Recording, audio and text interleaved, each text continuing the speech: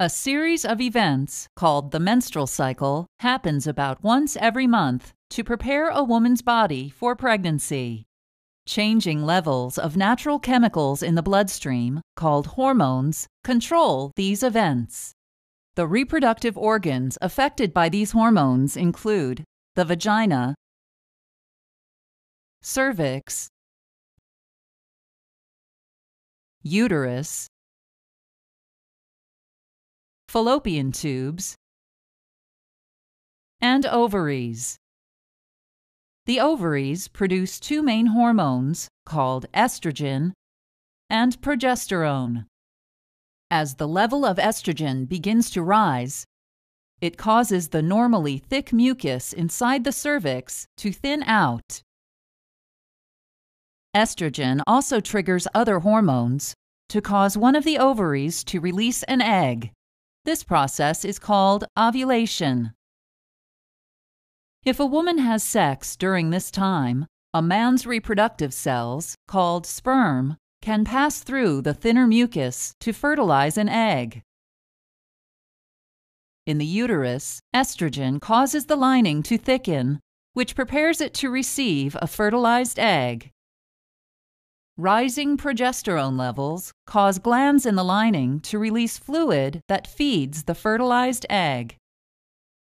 Progesterone also causes the thinned out mucus in the cervix to become thick again, which prevents sperm from passing through. If an egg hasn't been fertilized, the levels of both estrogen and progesterone begin to fall. This drop in hormone levels causes menstruation, a process where the uterus sheds its inner tissue lining and blood through the vagina. An intrauterine device, or IUD, is a birth control method consisting of a soft, flexible T shaped device with a thin string on the end. There are two types of intrauterine devices hormonal IUDs and a copper IUD, to prevent pregnancy, a doctor places an IUD inside a woman's uterus with the string hanging down inside her vagina. Both types of IUD cause mild inflammation of the uterine lining, which releases immune cells and chemicals that kill sperm.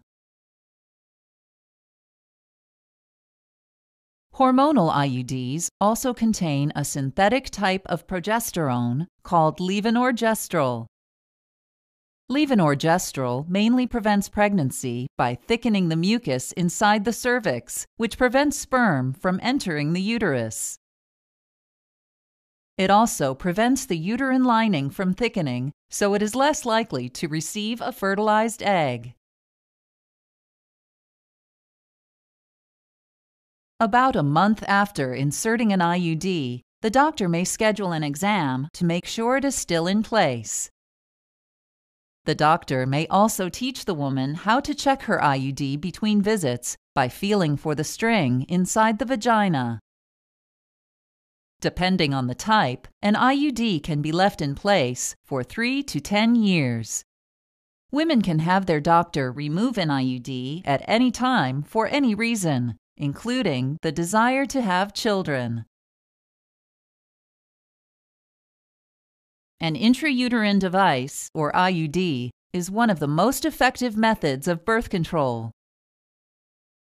IUDs are over 99% effective at preventing pregnancy.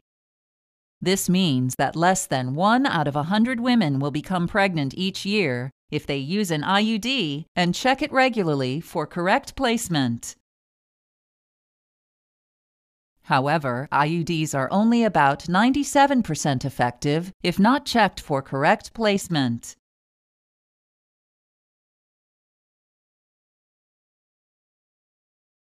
For more information on any type of birth control, talk to your doctor.